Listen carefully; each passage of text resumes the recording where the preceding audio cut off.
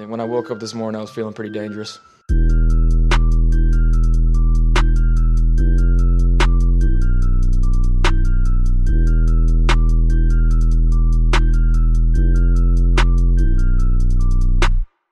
And if we're talking tight ends and we're going into round two, maybe round three, give me Ian Thomas, please. Just let's, I mean, let's just do the damn thing. Just based on giving his overall ability. Um, again, I like his arm. I think he can make every throw. The pick at number 12 is in. Happy Friday to everybody. Welcome back to Cover One, the draft podcast. I am Russell Brown. As always, joining me, CP Christian Page on this Friday. My man, how we doing? Doing awesome. Glad it's the weekend. Glad to be talking about football. And man, we are, even though we already kind of were in draft season, we're peak draft season now because we're talking combine today. Yes, we are. We're going to do offense today because next Thursday, the combine officially begins. More than 300 prospects will be there. We're not going to talk about all 300 prospects. We know that. Um, but we are going to do some offensive stuff today. We're going to talk offensive line, some of the skilled guys. We'll talk briefly about quarterbacks. Um, if, like you mentioned, if a quarterback is being drafted off of what they do at the combine, the team that's drafting them is probably failing. So, um, it's always fun to, to talk about quarterbacks, but I think we've done a lot of that throughout the out the year. Um, and then we'll get into some prop bets as well. So that's probably more so where we'll talk some quarterbacks for uh, just some fun 40 time stuff on those guys. But um, since we're talking combine, let's get into the 16 new drills that are coming to the scouting combine um, this year. We won't go into every single one, um, but for quarterbacks, they've got end zone fade, and then they've got the timed smoke slash now route drills. So um, they'll throw one pass to on that one. They'll throw one pass to a receiver running a smoke uh, route, usually a route that is adjusted to at the line based on pre-snap reads, indicating a quick completion that will be available against soft coverage on each side consecutively. So it'll be interesting. So I know obviously I said, oh, you know, you can't really base it off of the combine, but it will be interesting to see what a guy like Justin Herbert does or or Jalen Hurts, what they do in this situation. Then obviously end zone fade. You want to see really the placement there and you want to see um, how a player can adjust to some of those throws. And if it's, you know, a, a throw that's either off target because it's too far to the left or too far to the right or it's underthrown. It can make obviously those end zone fades, those jump fade routes a little bit more difficult. Um, do you have any take as far as or any input as far as quarterbacks go um, on that with those two new drills?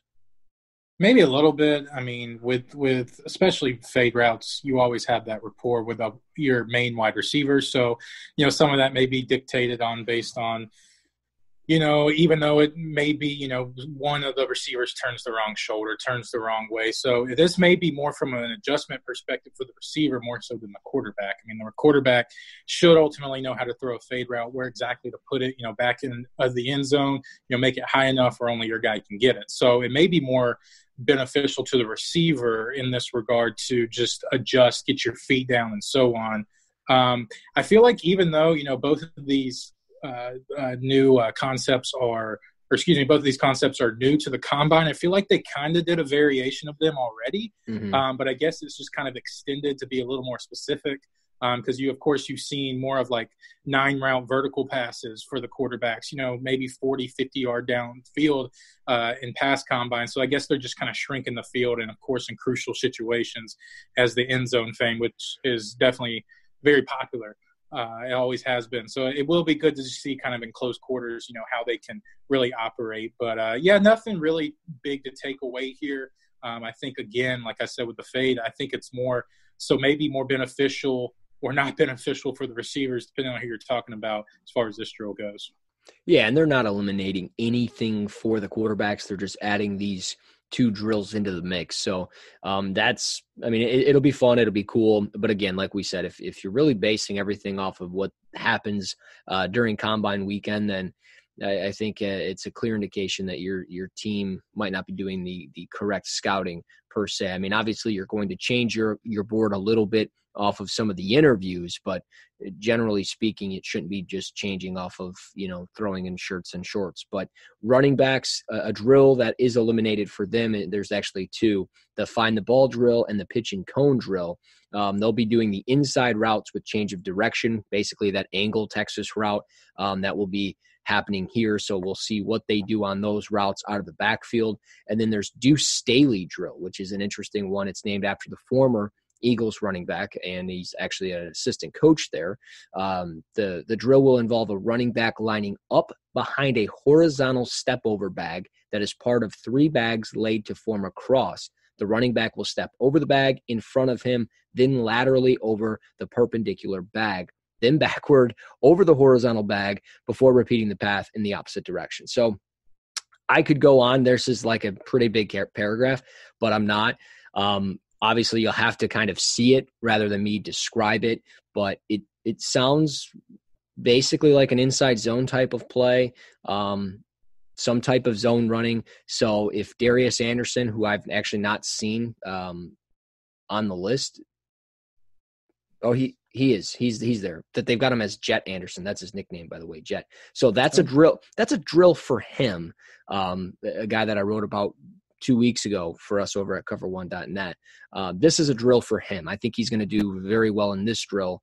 Um, and, and I'm sure other running backs will do good as well. I mean, like, you know, Jonathan Taylor will probably be fine, Dobbins, so on and so forth. But um, any anything there? Or do you want me just to go down these this list? I mean, you can. Yeah, there's nothing I can really add there because it kind of features a lot of different things. You know, change of direction, maybe some physicality. You know, quick decisions, whatever. I mean, I don't know. There was a lot to take in. That's going to be one of those where I'm going to have to see because I'm picturing that. I have all different kind of ideas. Yeah. Uh, so it'll be interesting to see the inside uh, routes though. Uh, with with just talking about you know catching the football, I assume. Um, I I like that idea because mm-hmm. you know any variation, any route diversity for running backs is I want to say crucial uh, in the league, but it definitely is beneficial. And I think angle routes are one of the more successful routes a running back can run. So seeing just kind of some precision, and that's when you separate. I'm not saying necessarily, you know, your your every down backs or more of just your possession backs or your uh, you know first and second down backs or receiving backs but it still sees like you know how comfortable these guys are catching the football i think that's one of the things that you really see as far as receiving drill goes for the running back position who naturally can catch the football. So a guy like you know La'Mical Perine joshua Kelley, i think this would maybe accentuate some of their skills. Uh, but again i think there's with the with the Staley drill, there's a lot going on. Yeah, really like figure out who that would be good for. yeah, well, and yeah, and with the the angle routes too. I mean, you you're going to see a guy like J.J. Taylor, who's basically been just for under sure. the under the radar the entire process, and he has not had the year uh, that he had the year before, but kind of like a Tarik Cohen mold in a sense, just a smaller body guy, but so elusive and shifty. So that'll be good for him. Uh, for receivers. They're adding the end zone fade route. So obviously, as we talked with quarterbacks, we'll see that. Uh, but they are eliminating the toe tap drill for tight ends. They're also doing the exact same thing as the receivers. So that'll be fun to, to see what uh, the bigger body uh, receivers, aka tight ends, do. Um, offensive line, there's a couple of different drills here. They're not eliminating any drills, but they did add a um, new mirror, uh, new mirror drill Player lines up at set point between middle of two cones, roughly six yards apart, and slides laterally left and right based on coach's direction. Uh, the drill places emphasis on feet and the change of direction. So I've always talked about this. I always like to see the way a player can shift his weight, the weight transition between his set foot and his post foot. This was something uh, just two, three years ago when I watched um, film with with uh, Eric Turner on Mike McGlinchey out of Notre Dame when we put it on YouTube for Cover One. We we talked about so much of that weight transition. It was something I noticed immediately for him with McGlinchey. It was flawless for a guy that was six seven. So it's something that will be very interesting to see. You know, guys like Mekhi Becton, Josh Jones. What do they do here? And then obviously the new screen drill is players will set up in pass protection, then release and then sprint toward the first coach holding a blocking shield 15 yards wide of starting point to simulate engage and release action of a screening lineman. So that's also interesting, and I like that drill as well. So um, two of these drills, I think this is a lot of a lot of fun. Um, I always like watching offensive linemen. It's always fun to see what these guys do. Um, obviously, I know you're going to have some comments here, but also if you're a, if you're a football coach and you're listening to the podcast, one, you need to rate, review, and subscribe. But two, you also need to really watch the combine and see some of these drills because when you get into June and July and you don't have pads on, these might be some drills that you can mimic for your football team. But uh, CP, what do you got for us on offensive line here? Because I'm I'm sure you're interested.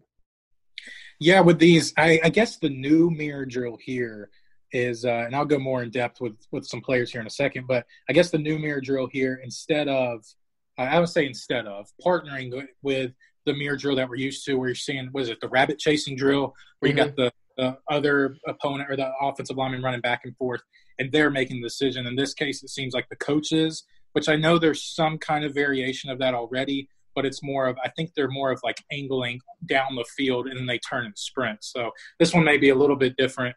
Um, but any type of mirror drill where you can get your feet moving laterally, I think is a great idea. Like you said, any coaches that are listening, even evaluators, anytime you can see guys' feet move, that's one that's something that's always going to translate over if you have it.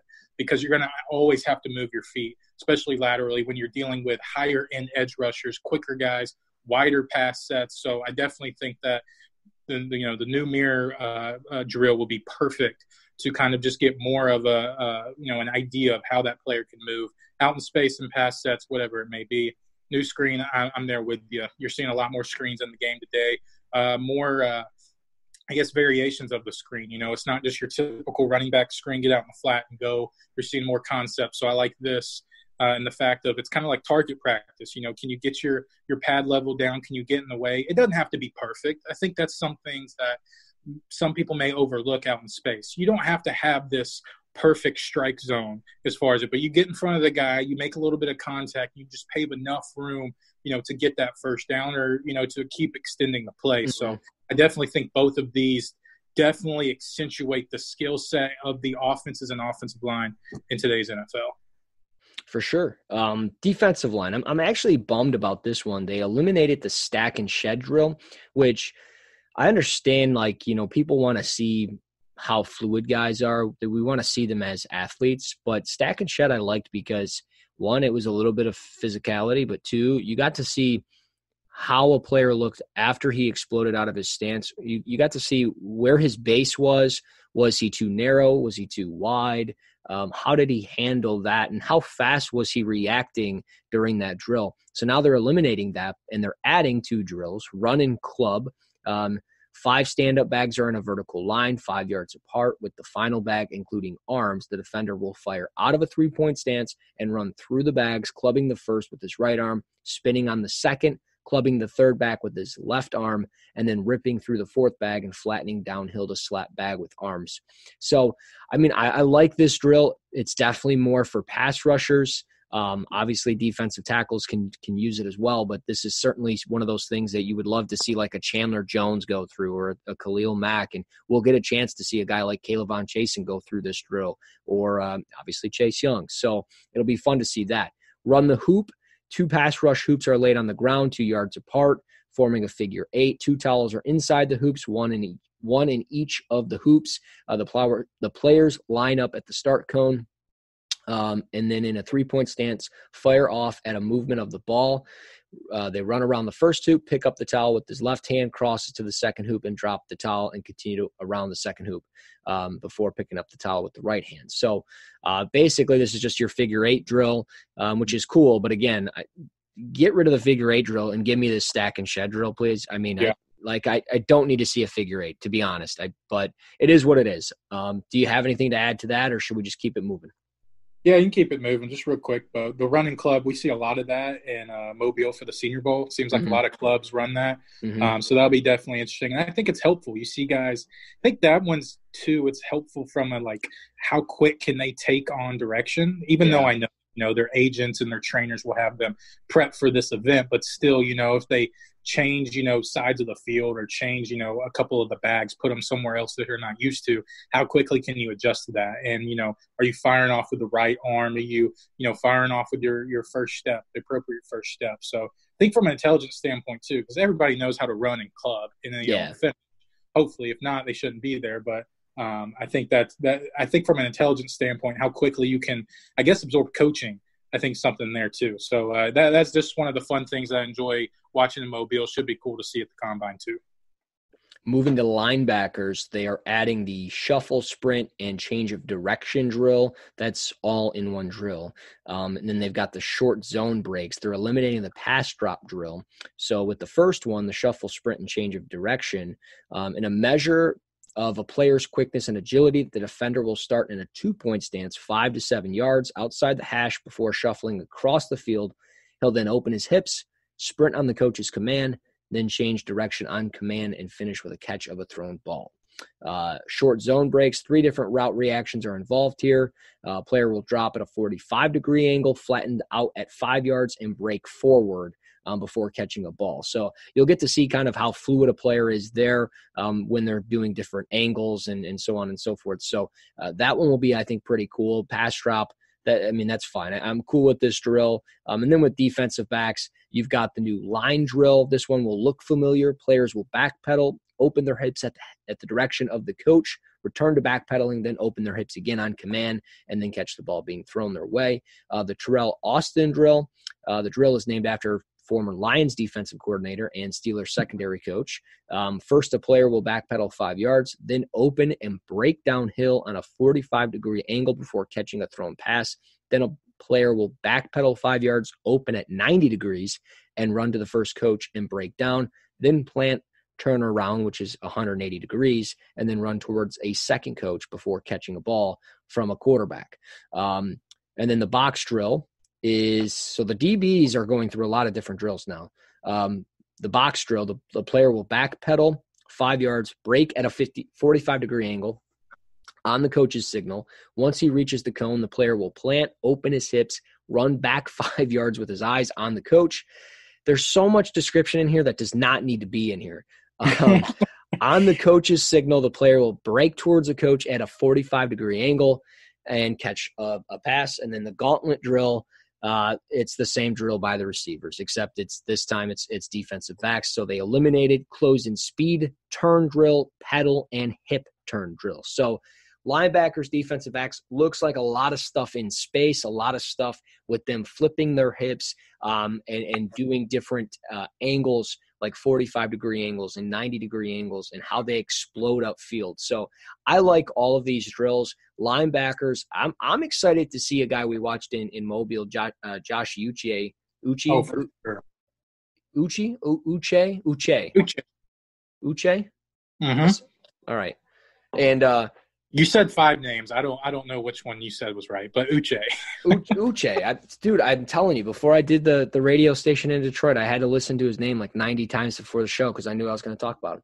But I'm excited to to see what he does there because you know there was times in Mobile where where he was not good in coverage, I thought, but then there was other times where he was like good in coverage, and I'm like, well, this is going to be a fun one for him because he's explosive. He'll probably go through some defensive line drills, and then obviously these drills. So um, anything you want to add? Maybe some defensive backs or anything or whatever.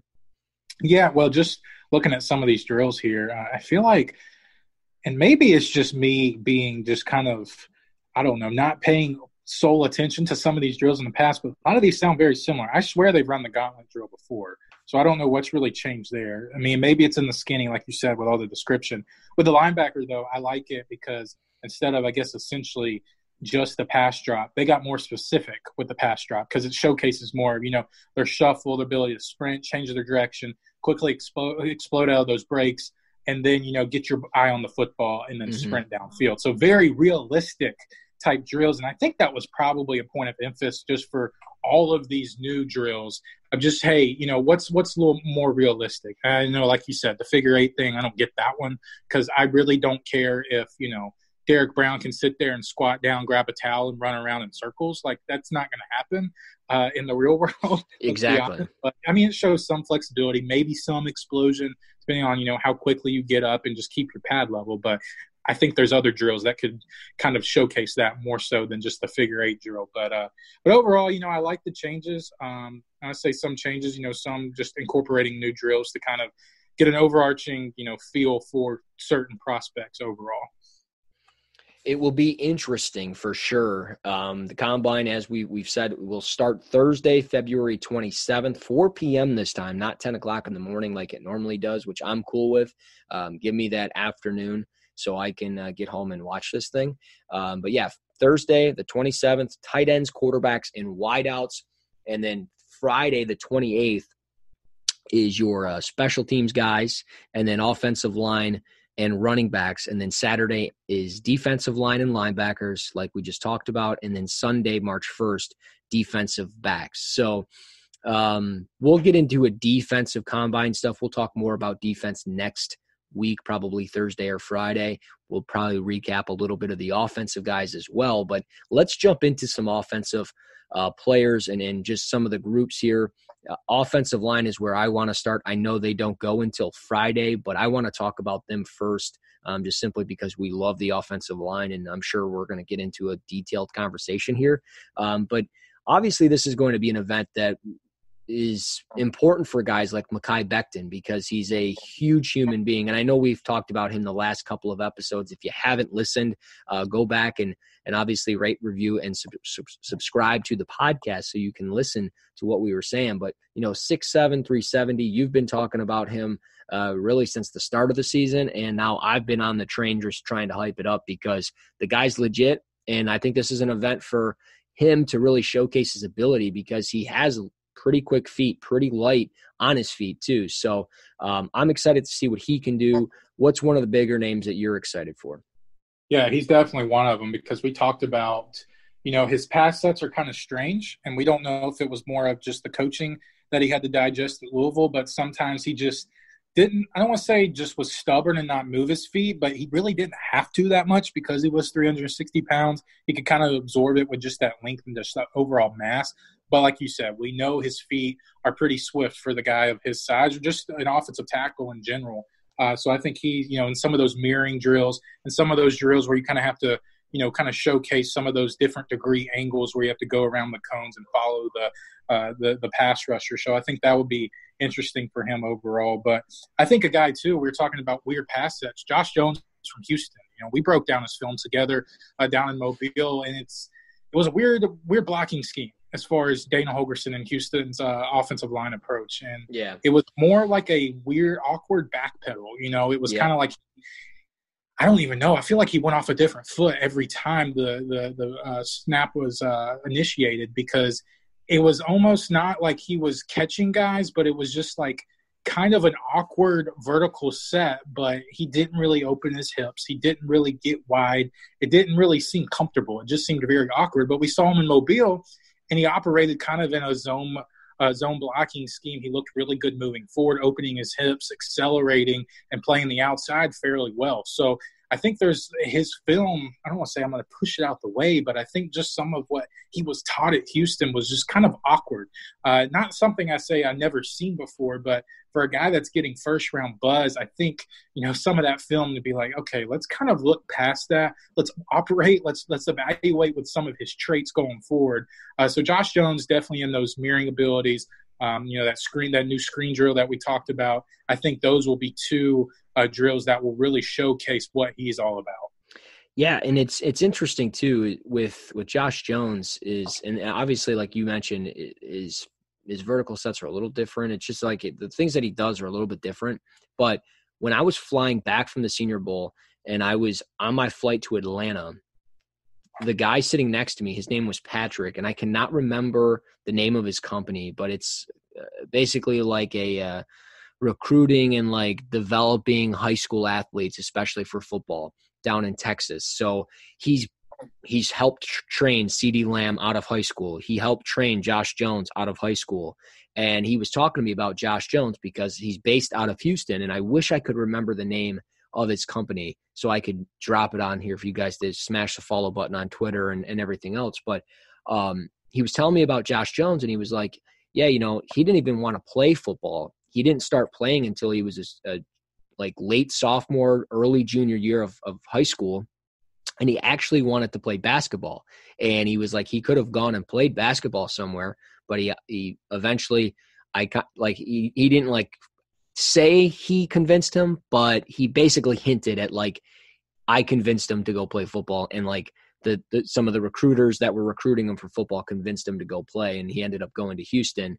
Um, but like I, I think maybe that's part of it with Josh Jones is just like he's not been you know he hasn't been playing football as long as other guys like an Andrew Thomas, for an example, who has I think been playing since probably uh, when he was really young, and um, I haven't really done that type of research on Andrew Thomas for that. But um, I just found that really interesting, and it, it, like when you brought that back up, it kind of made me put two and two together for a second. Um, but I, I will I will talk about Andrew Thomas briefly here. I, I feel like the consensus is starting to turn towards the fact that he's more of a like mid-teens to early 20s type of draft pick and i just find that odd like out of I just feel like that kind of came out of nowhere. And I it's mean, because Becton gains steam, and it's like naturally you have to force somebody down, right? That, that's, that's, what, what it that that's what it seems like, and it's just like I mean, guys, he's still a good football player, like really good, and I think the combine could be an, an, an opportunity for him to put his athletic ability, which there will be some limits to his athletic ability. Don't get me wrong, but like for him to like, especially like we talked about those footwork drills and everything else, where he's able to uh, mirror defenders and everything else. If he can prove that and show like, hey, I can be a natural knee bender and everything else, then I think he'll be just fine. And I still think he would be a top ten pick. And I, I don't see that. Uh, I mean, we'll, maybe we'll see that in the in the in the future on some of these betting odds that you know is Andrew Thomas a top 10 pick because I feel like he should be I think there's enough teams in the top 10 that need an offensive tackle and I mean this guy he's so powerful and he's just you know I think he does a good job laterally throughout the game and I, just like what he brings as a as a run blocker and I, I just think he's good. Uh, like he's good, folks. Like it's just one of those things. Like let's not overthink it and just push him down the board because of one player. Like you can have multiple offensive tackles in your top 10 and you can have multiple offensive tackles go in the top 10 of a, of a draft or even top 15 and i'm not saying like oh he's fifth, he's going 15th how you know that's terrible shame on you. But like i just feel like the last couple days i've been like going on twitter and seeing like people kind of just turn their thoughts on him towards like he needs a lot of work and this and that. And i'm like what are we talking about? I don't think he needs a lot of work. And some people are saying he needs to go play guard. And i just think that's asinine I think sometimes when a player has been at the top of his position or at the top of the rankings for so long, I mean, Andrew Thomas was a top five pick when he put on a Georgia uniform. Mm-hmm. I mean, we, we knew that. We know watching, you know, Nick Chubb run, Sony Michel, and watching them in the national title, we're like, man, this left tackle, he's a stud. And like we knew about him. And so it was almost like now you have you you know he's a good player, so it's almost like now you gotta be nitpicky figure out why he can't succeed. And I feel like you're just so used to seeing him in the top, it's just natural to put him up there. So it's like when, you know, this other guy, you know, Mekhi Becton, 6'7, 360 pounds, guy moves pretty well. There's a lot of steam. Well, Andrew Thomas, you know, it's kind of bland now because we haven't seen anything new from him. Mm-hmm. Well, he was still an elite prospect when he was like 18, 19 years old. And so you see it all the time, every year. And I'm not going to like say, you know, there's always one guy that – you know gets pushed down unrightfully or or shouldn't undeservedly but it seems like that just that group think mentality just settles in too often. Uh, and, and you know I noticed it and I knew like Leonard Fournette had his flaws coming in LSU it was mostly you know some with uh, you know ankle lingering ankle injuries but it was like everybody wanted to push him down so far because I mean, at age, you know, we are talking about Andrew Thomas as a freshman in Georgia. Age like 16, we knew Leonard Fournette was going to be a first round pick. Mm-hmm. And so, you know, it, it, was like, well, just keep pushing him down, pushing him down. And I know he hasn't had the greatest career at Jacksonville because of some of those injury reasons have come up. But some of the other reasons to push him down the board, I'm like, okay, you're just trying to not like him. Yeah. Almost like to get venture off so much from the status quo of him being a good player it's okay for somebody to be good for four years or three years. It's fine. There's a reason why people are talking about that. And I'm not saying that's the reason why some people are dropping Andrew Thomas. Maybe there isn't, a, you know, a detail that somebody doesn't like, and I respect that. If you didn't explain it, I respect that. But I think, yeah, I think too. Don't don't overthink Andrew Thomas. He's still a solid player. He's still a starting left tackle in the league.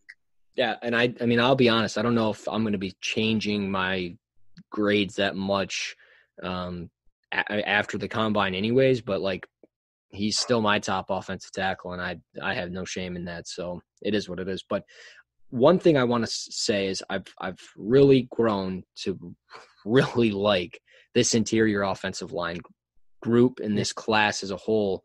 Um, and I mean, like Jonah Jackson, Ohio State, we saw him at, at, the Senior Bowl. Pretty impressive. I think that he could have a pretty good week at, at the combine as well. Keith Ismael out of San Diego State. He's got some tools to work with. I think he could have a really nice week. Matt Hennessy uh, from Temple he had a nice week at the, at the Senior Bowl. Didn't get better every day. I mean, he was pretty consistent, but like he was on and off at times. But overall, like pretty solid. Shane Lemieux um, from Oregon, I, I, like him a lot. And then obviously, you know, our our two guys, Lloyd Cushenberry from LSU and Tyler Biadasz from Wisconsin. I think the combine could be, you know, a moment where us fans could go, hey, he, you know, this Biadasz is is actually is still good in space, and he's still got good footwork, and hey, he's still okay. So um, that's I, that's kind of another one of those.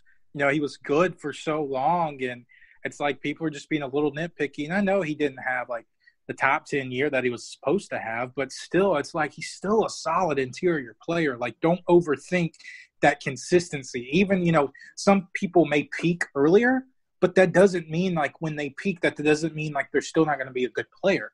Like you can still be a good player when you peak earlier. Mm-hmm. uh, and so i don't know. It's just that that word potential gets overused so much that i think sometimes it almost becomes like um, a black mark. It's like how much more potential does Biadasz have? Mm-hmm. maybe not great but where he, where he is now is fine in my opinion. Yeah i'm with you. And so, I mean, I, I, think this is a, it's going to be a fun week. I, my question to you is, you know, we've seen the growth and, and, the rise of a player out of Michigan, their center, Cesar Ruiz.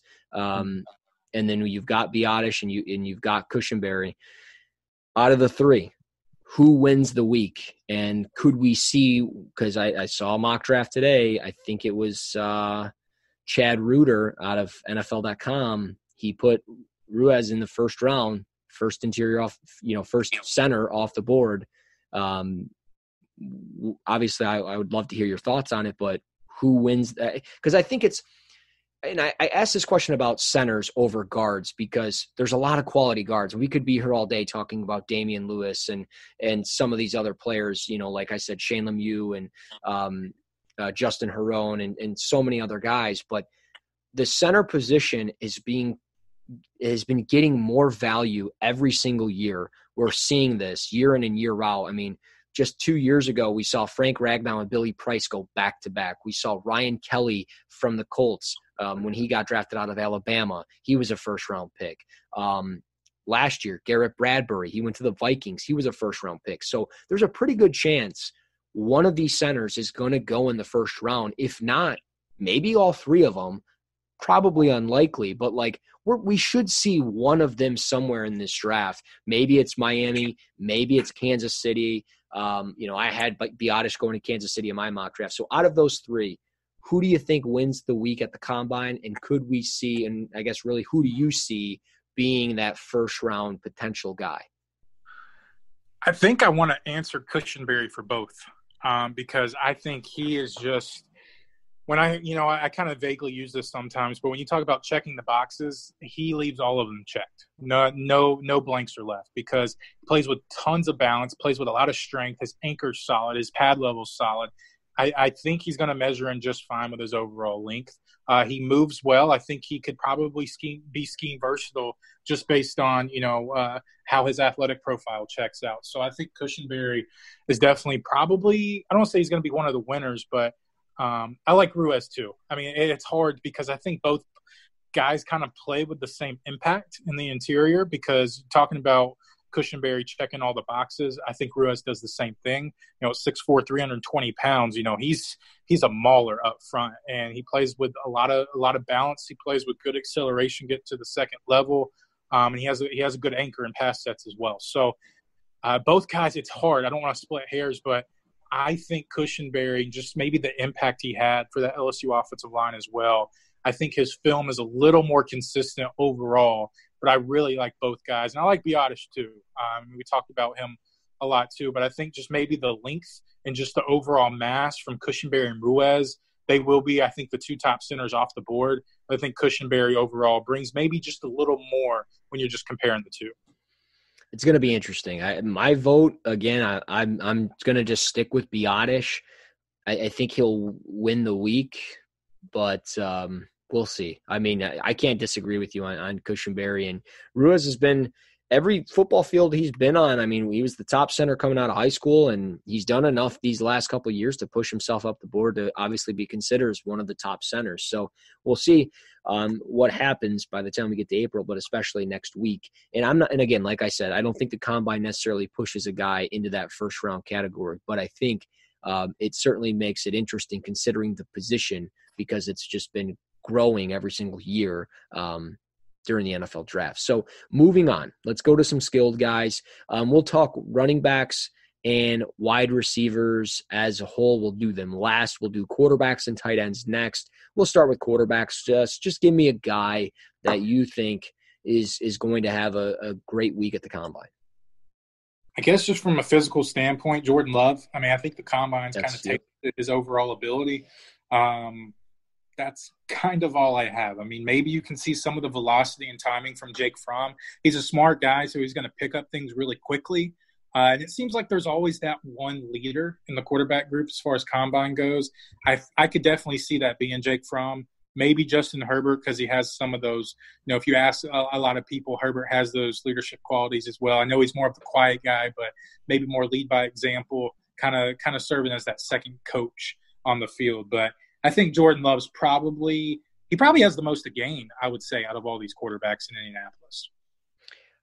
I, I can't disagree there. Obviously, I'm I'm very much on board with with thinking of Jacob Eason. I I, I think you know he's not the the best athlete on the field, but like I, I'm just curious, how does he, you know, with his size and the arm talent? I mean, he can put some zip on the passes, um, or some zip on the ball. So I'm really curious what he looks like obviously just going through these drills because I thought some of the stuff that he did throughout the year was just more so the fundamentals and the just the overall technique and just getting the footwork down and not rushing through progressions and everything. So, I mean, obviously a big job interview on the line. How does he look?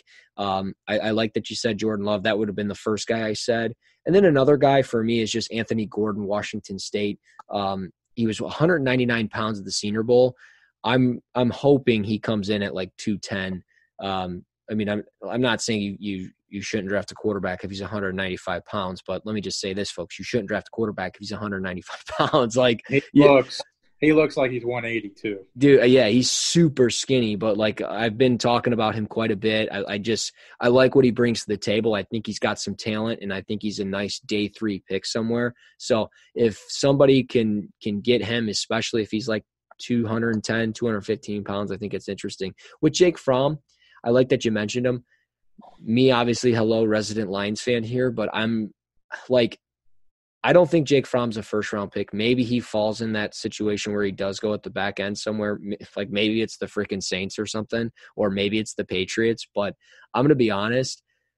If the Lions are really considering a quarterback, and which I think they are, but I don't think they're doing it in the first round. But if they end up thinking of it like in the second round or third round, and Jake Fromm is there, and let's say they make that trade with Miami and they get an additional second round pick, or they trade Darius Slay and get a second round pick, if they can get Jake Fromm out of it, hey, I'm cool with it because I think he'd be a fit with Darrell Bevell, and I think he'd be a fit in this offense to learn behind Matt Stafford. Maybe I'm crazy. I don't love Jake Fromm, but I like him enough to where I think my, you know, for my team, I'd be okay with them taking him to to to be a, a much more functional backup quarterback to uh, my injured quarterback the last two years. So that's my thought there. Um, let's move to tight ends. Um, I, I've got a guy right off the go here, and I think I, I don't know what it is. I'm just falling in love. Maybe it's just the, the saying, let's do the damn thing, you know, hashtag Ian Thomas, Ian Thomas. But Thad Moss for me, man, is 6'3, 250. Guy works his ass off on the football field. And, you know, really only one year um, as a productive receiver in college coming this past year. But he's a terrific blocker.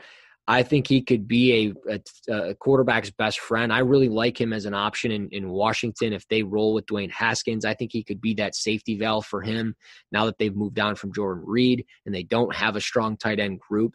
So Thad Moss's ability as a blocker is, is huge. I think if he can test well and show that, hey, he's got some athleticism and that the apple doesn't fall too far from the tree from Randy Moss, because that's his dad, I, I think – it would be a good week for him. And I, I, think he could be somebody that we talk about a lot more after next week. Oh, 100% agree. And you talk about guys just gaining steam as of late. I mean, Thad Moss probably right toward the end of the, the football season, um, the college football season, and just kind of getting into draft season. He's gained a lot of buzz. Uh, but I think just somebody that this is the obvious pick of – who's going to win the combine out of the the tight end group. I think it's Hunter Bryant from Washington. Mm-hmm. Guy's just an athletic specimen, and he's going to any type of drill, any type of measurable, he's going to check the box, and he has tight end one capabilities, but. A guy that too that entered the pool late, Cole Kmet, the Notre Dame tight end. I think I don't say the combine's crucial for him, but I think maybe some of those underlying, you know, short area quickness type drills, you know, maybe looking at the three cone or maybe some of the broad jump, just looking at some of his explosive qualities.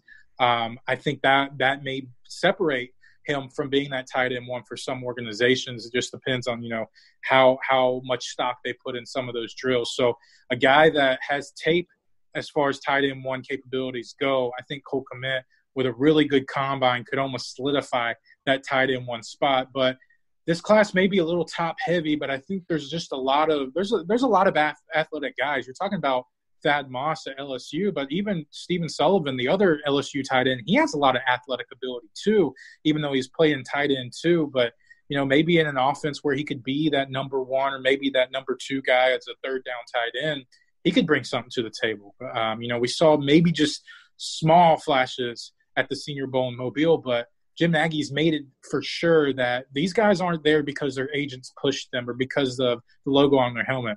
They're there because the NFL has spoken to the Senior Bowl staff and that they see a future in these guys. So mm-hmm. that convinced me enough to go back and be like, hey, Sullivan's a guy that's going to be drafted and he has a place in the NFL. We'll see how he tests, but I think those LSU tight ends, they could steal the show. Sure, there's more. There, there's two LSU guys there in the tight end group, but I think Sullivan obviously gets overshadowed by Moss, but he's definitely somebody to keep an eye on maybe in day three to look at maybe just adding something to a, a passing role in the NFL. Our Zach Hicks actually talked with Stephen Sullivan. Um, Zach Hicks of Cover One now. Um, he he spoke with uh, Sullivan, if I remember correctly. Very interesting story. Cannot remember it for the life of me of exactly what he went through, but um, yeah, good stuff. Um, moving to the running backs.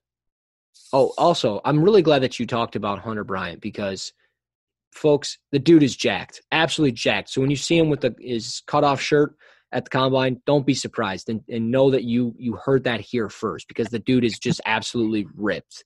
Um, let's go to running backs and then we'll do wide receivers. We'll do a couple of odds while we're talking the wide receivers and, and all these skilled guys.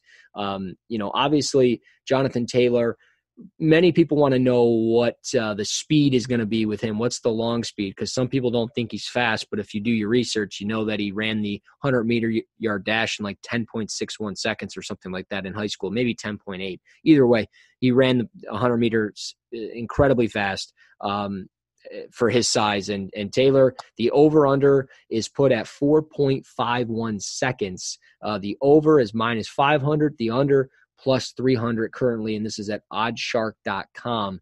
But obviously, what do you think there for Taylor? Do you think he goes over, under that number? I'm thinking under.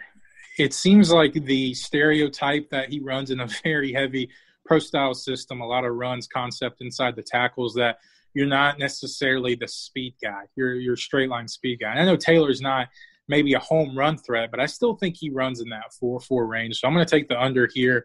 Um, Taylor's ability just all, all, across the board. It's really hard to find a major flaw. I know he has some bumbling issues, and you talk about how much tread is left on his tires, but overall, I think Taylor checks a lot of boxes, and I think speed's one of them. Yeah, I'm with you. Um, I Taylor for me is RB one. I don't see that changing. Um, but some people like this guy, DeAndre Swift out of Georgia. His over under at 4.47 seconds. I feel like that's going to be under. I mean, that's it, he seems so much faster on tape.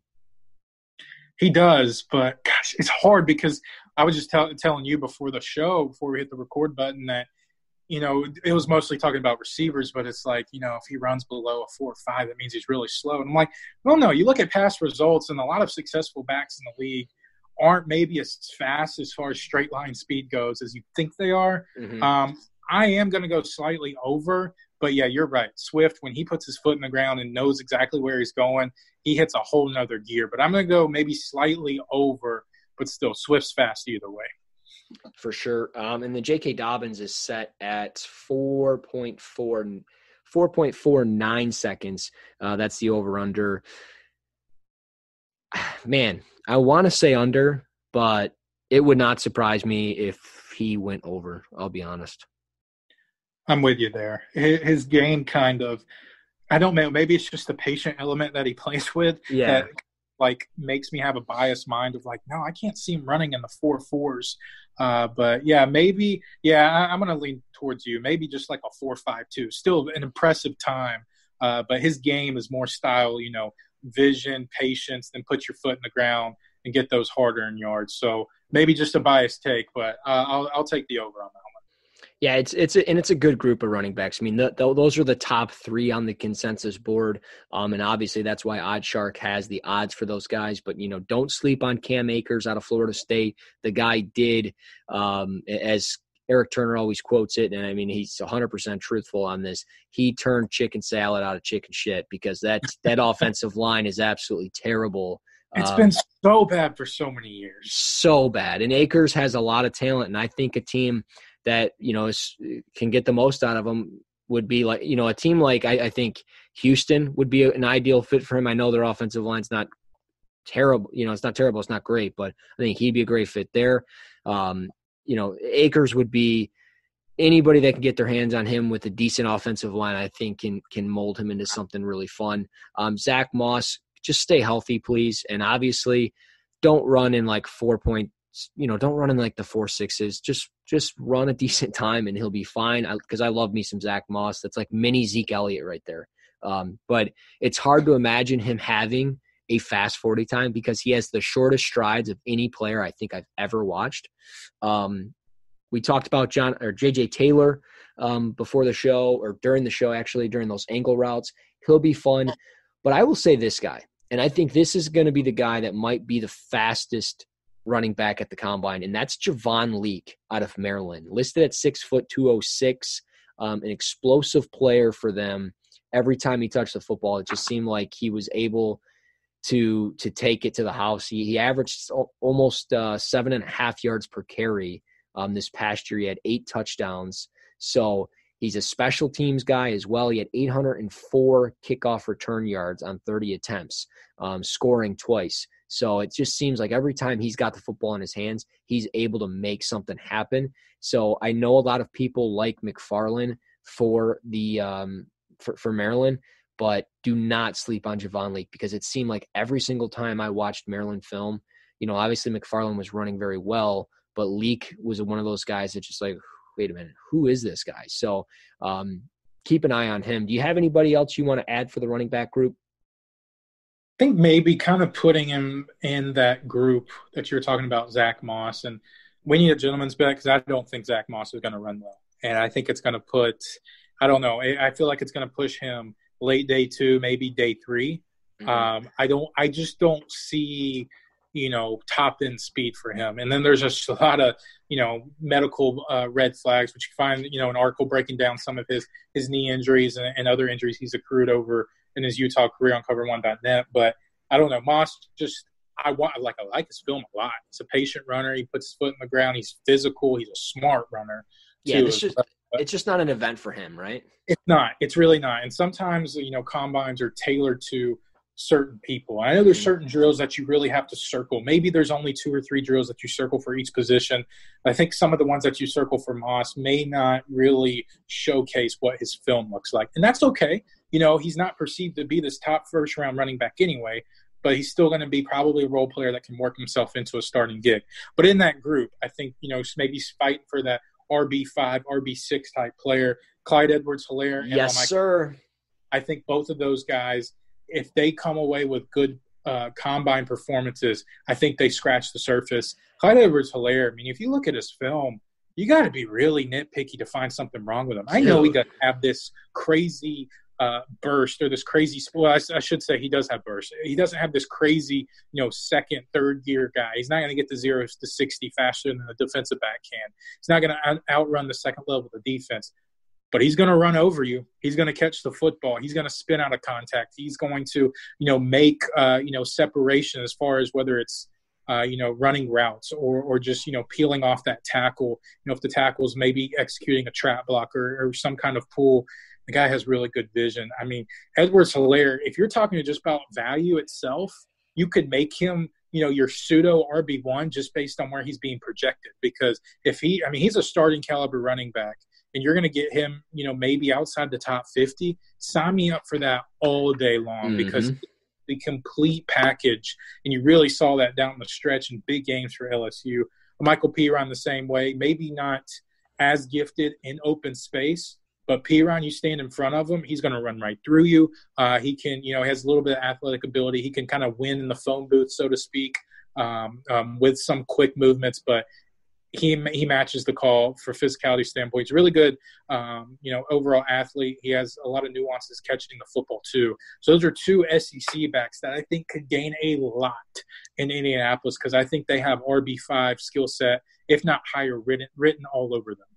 I cannot disagree with you at all on on Clyde Edwards Helaire, as we would call him CEH. Um, I, dude, I, it wouldn't surprise me honestly if he's one of the first two backs off the board. I mean, he, he I, I've been watching him the last couple days, and I mean, I, I like I watched some of them beforehand, and then like I've starting to get to more of the film, and I'm just like, dude, I don't find a flaw with this guy. I mean, his ability to just jump cut, his shiftiness to just make defenders miss. I mean, like I posted a clip last night, dude. It was Barry Sanders esque. I mean, I'm not like I'm not saying the dude's Barry Sanders, but it was like, oh my, like it, he just so fluid and flawless, and it's like. Mm man, I grew up watching a guy like this. I could like, please sign me up, put this guy on my team, and like, yeah, no offense, send on Johnson back to Auburn, please. Give me, give me Clyde Edwards Helaire because that's yep. the guy that that's the guy I want. Um, and then like you said, Perine, you you you put it perfectly. Um, phone booth type of player. I don't think he's got like an elite trait other mm-hmm. than work ethic. Like the guy works his tail off and put him in that phone booth, and I think he's going to win probably nine times out of ten. Um, I, I like him as well. I mean, I there's so many running backs here that I really like, and we could sit here all day and just talk about that group alone.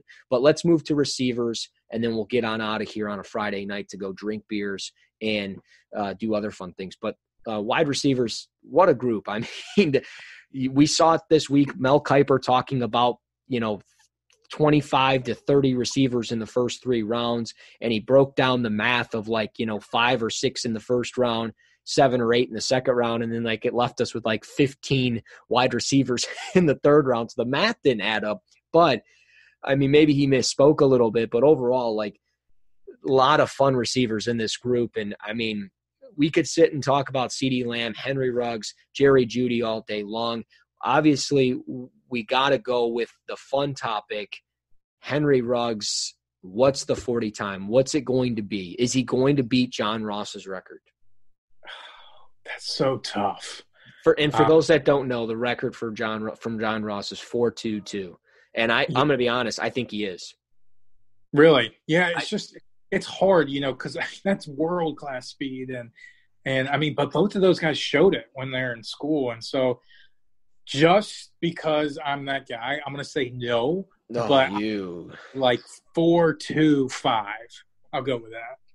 I can't. I mean, uh, it's either way, dude. It's still fast as hell. It damn fast. It doesn't matter. yeah, it doesn't matter. Um, no, I mean it's going to be a great week. I mean Jerry Jeudy, CeeDee Lamb, Jeudy for sure. I mean he's got a show. Um, and I can't remember. Did we say they're getting rid of like that gauntlet drill for wide receivers? Right? Like, or no, just the toe. It's just the toe tap drill. So him go. No, Nobody ever did that drill right, anyways. Yeah, yeah, yeah. No, for sure. So him doing the the gauntlet drill, I, like let's see that concentration drops. Like let's put that to the test here, um, because Jeudy separation, route running, maybe near the top of the class, if not at the top of the class, and then obviously CeeDee Lamb, he catches everything. Um, and I know I'm talking about the bigger name guys, but like a smaller school guy and a smaller name that we haven't really talked about a ton, Isaiah Hodgins out of Oregon State this dude just a baller, man. 6'4", 209 is what he's listed at. I mean, he finds the ball, he plucks it out of the air, fluid athlete. I think he could have a very solid week. And, you know, if it's true, 25 to 30 receivers in the first three rounds, Hodgins should be one of those guys after this week. So with his, with the, the you know, the body control, the ball skills, I, I think he's a legit playmaker for, for a team. And with that size, I think teams are going to fall in love with him after the combine. For sure. We were talking about that new fade drill that they've implemented. Hodgins is going to dominate that drill. Dominate. Because he has a lot of just, you know, just, uh, what's the right word? I guess technique as a pass catcher. You know, whether like you're talking about body control, um, you know, just discipline overall and keeping the ball away from the defensive back. He's going to do really well. I mean, if we're if we're picking winners for that drill, he'd be one of my top guys because uh, I think he has, you know, when the ball's in the air, it's his. He always, he's always going to claim it. Um, he has the long arms to really kind of accentuate that skill. You know, sure, he's not this dynamic um, guy that's going to constantly gain separation over the the middle of the field. Um, but you know, you get the ball in his hands, he's going to win with physical ability, and I think you just get him down the field, let him go track the football and go get it. He's really fun to watch in that aspect. But it's funny because you were talking about you're naming all these big name guys. Well, I feel like they're all big names because all of them are so good, and the list just goes on and on and on. So it's not like you're, you know, it's like, uh, oh well, you know, they're just mentioning these guys that everybody knows about, but you know about them because they're all twenty of them are good.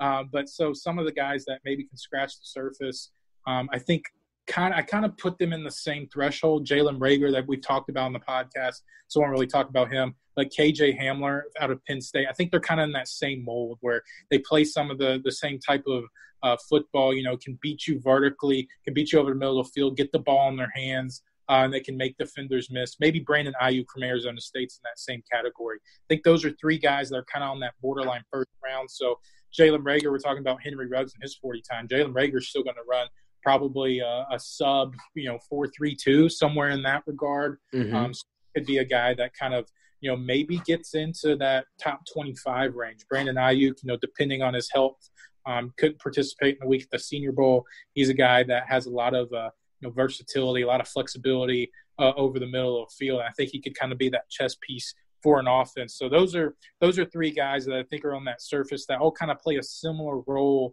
that could kind of just be kind of you know battling for a certain position as maybe that I don't know seventh wide receiver picked in the first round, whatever the numbers may line up to be. Yeah. There's just so many guys here, and and you know about them because you know they're all good. They're all talked about because at one time they were a high ranked recruit, but now they're sitting at wide receiver 15 in a draft that's littered with so much talent. So, like you said, whatever the 25 receivers in the first, you know, three, four days of the draft draft is absurd, but it's correct. It should happen.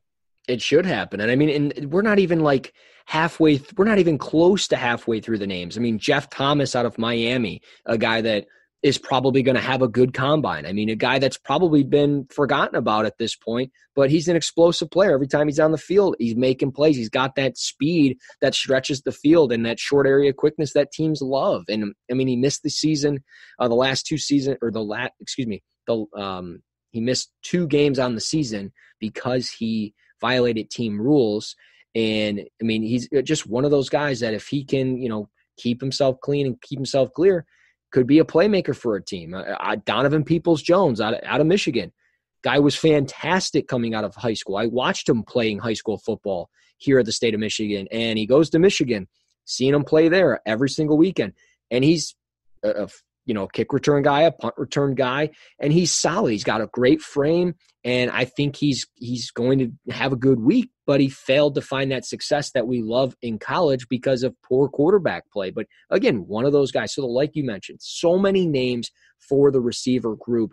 Again, we could be here all day long, and like I'll, I'll, be honest, folks. I didn't even want to do a podcast this long today, but we have so many names like Lynn Bowden out of Kentucky. I yeah, he was going to be the next guy I brought up. He's one of the most intriguing players in the draft, period, regardless of position. Oh yeah, I mean Antwaan uh, Randle El for sure, hundred percent.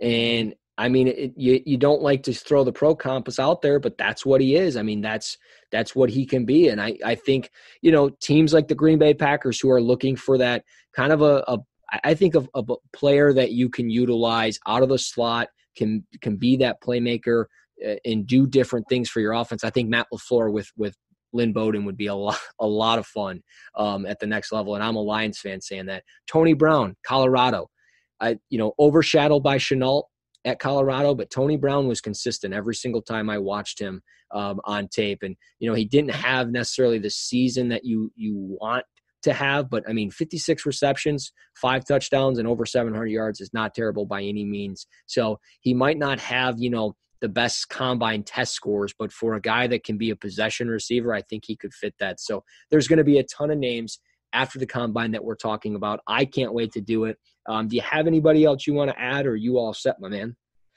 I think I'm all set. I mean, I mean, Denzel Mims, he was a guy that impressed in Mobile, so yeah. he's probably somebody that I guess right now his projection you could get a little value on him somewhere in day two, maybe late round two. Um, I think is probably there. James Proche from SMU, he showed he flashed some ability down in Mobile from uh, uh, and then some of his SMU tape. And Tyler Johnson, one of your favorite players, I think maybe we'll get an actual like uh, hold on where he sits. You know, maybe we'll see his athletic testing because it seems like that may have been the bigger question going forward is like how athletic, how how much separation can he get? Is he just a big body receiver that can get open downfield, or can he get open and more the intermediate levels of the field? So maybe we'll get some numbers that we can attest for that and get an overall gauge on his game. But uh, God, there's just so many names.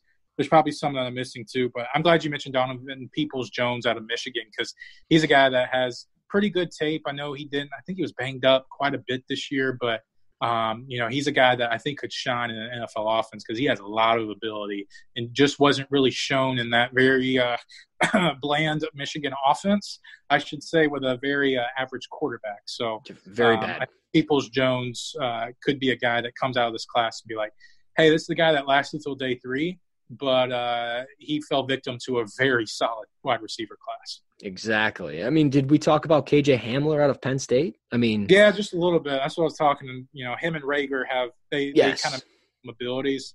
Uh, Hamler's a guy that too he can fly. Hamler, Ruggs, and uh, Reagor will probably be the top three guys in the forty. Um, just speaking of wide receivers and combine performances, Brad Kelly broke down what his predictions were. You know, we always hold uh, you know his conversation of wide receivers very high because uh, you know playing the position and coaching the position uh, he has a very good grasp on that. So you can check that out on cover1.net as well with a bunch of other content. And we got some stuff coming out here soon. Uh, I'm working on Noah Igbinoghene from Auburn. He has some round one potential. You talk about 40 times. Dude's going to fly. He's a track athlete at Auburn. The guy's going to run probably a, somewhere in the four threes. His tape is a lot better than probably you think, and he gets credit for. I will save my analysis for him later when the article drops when we talk about defensive players next week for sure. You will be able to watch him run as well on Sunday, March 1st, the defensive back. So remember, the combine starts Thursday, the 27th of February, um, and it goes all the way through Sunday, March 1st. Uh, be sure to go to you know NFL.com to to see all the new stuff from the combine drills plus the combine participants, over 300 names. But if you want some deeper analysis on those names, you need to go to cover1.net. And the best way to do that is by downloading the Cover One app for absolutely no charge, no fees, no nothing whatsoever. All you have to do is download the app. So go to your app store, search Cover One download the app and then you have all of our content right there on your mobile phone and you can also access it on your iPad, however you go about your business. So go do that today. Obviously, we need you guys to rate, review, and subscribe to the podcast. So go to Apple Podcast, find us there, Cover One NFL Draft Podcast. Go to Spreaker.com. Go about wherever you go and do your podcast. We're on everything YouTube, everything. Go find it, download it, rate, review, subscribe, and give us your feedback because the more feedback we get, the more five stars we get, the more episodes we get to do every single week. So be sure to do that. And last but not least, smash the follow button on Twitter at Russ NFL Draft at underscore Christian Page. CP, we are done. This is it. We are out. You guys enjoy your weekend. Enjoy the combine next week as it starts Thursday. We'll be back next Friday to talk defensive guys. So until next week, this is Cover One, the Draft Podcast.